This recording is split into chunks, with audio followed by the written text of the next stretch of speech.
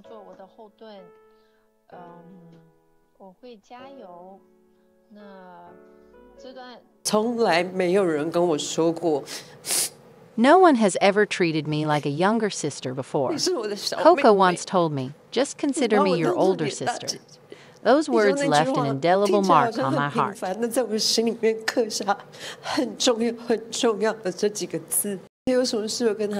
I told her literally everything.